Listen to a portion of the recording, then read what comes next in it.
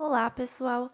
Vamos iniciar agora a apresentação do nosso projeto interdisciplinar, desenvolvido pelos alunos Lucas Lopes, Mariana Dantas, Vinícius Dias e eu, Camila Andrade, alunos do sétimo semestre de Matemática.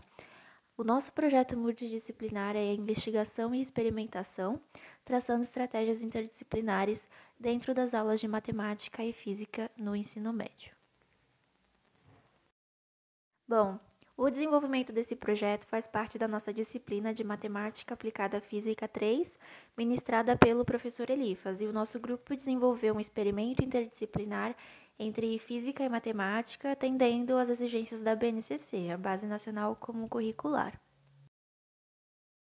Nosso projeto é basicamente uma sequência didática que nós intitulamos de Experimento de Investigação sobre Densidade e Geometria Espacial o nosso público-alvo são alunos do primeiro ao terceiro ano do ensino médio, e com essa sequência nós visamos desenvolver a habilidade abaixo, que trata de resolver e elaborar problemas que envolvem o cálculo de áreas totais e de volumes de prismas, pirâmides e corpos redondos em situações reais, com ou sem o apoio de tecnologias digitais. É uma sequência que está dividida em três etapas, então nós previmos uma aula para cada uma delas, totalizando três aulas de 45 minutos. Para conseguir realizar a sequência, nós estipulamos algumas habilidades que devem fazer parte do repertório dos alunos.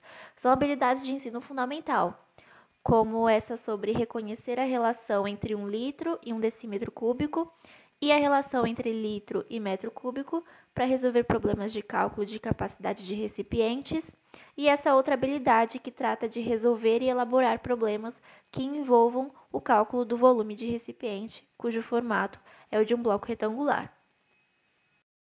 Para dar início, nós temos alguns materiais que são necessários para o desenvolvimento dessa sequência, que são régua, barbante, balança de cozinha, materiais geométricos, que são os sólidos, e um tanque de água transparente, que deverá estar marcado com indicações do volume na forma fracionária. O experimento é uma investigação em grupo onde será entregue aos alunos sólidos de formatos conhecidos como cubo, paralelepípedo, pirâmide, cilindro e cone, e junto deles a ficha representada abaixo, onde eles deverão fazer anotações dos sólidos que eles têm em mãos. Quantidade de faces, tipos de faces, o nome do sólido, cálculo de área, e é interessante relembrar junto dos alunos como que calcula o volume de um cubo, de um paralelepípedo, por exemplo. Então, os alunos vão calcular e anotar os volumes dos objetos que eles sabem com o auxílio somente de régua e barbante, utilizando suas próprias estratégias antes do experimento. Será colocado então o tanque de água transparente e graduado no centro da sala com as medidas em frações de litros. Em seguida, será perguntado para os alunos: como podemos calcular o volume de sólidos sem dispor de materiais que convencionalmente utilizamos para medição? Em caso de nenhuma ideia surgir, o professor deverá explicar o procedimento na segunda etapa dessa sequência, onde o professor também mostrará um vídeo sobre o descobrimento de Arquimedes e tirar as dúvidas. Nós deixamos aqui um link com o vídeo que encontramos e achamos interessante. Será solicitado então que os alunos introduzam os objetos no tanque, um de cada vez, e façam anotações sobre o volume de água.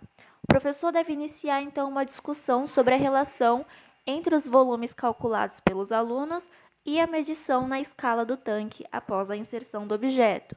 Então, a partir dessa informação, os alunos serão direcionados a concluir que eles podem sim descobrir o volume dos sólidos sem materiais de medição e anotar na sexta coluna da ficha o cálculo de volume obtido a partir dessa nova estratégia.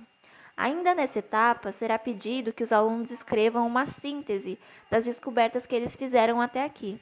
Acreditamos que seja essencial para os alunos, porque será esse o momento de reflexão e introjeção das experiências vividas até esse momento.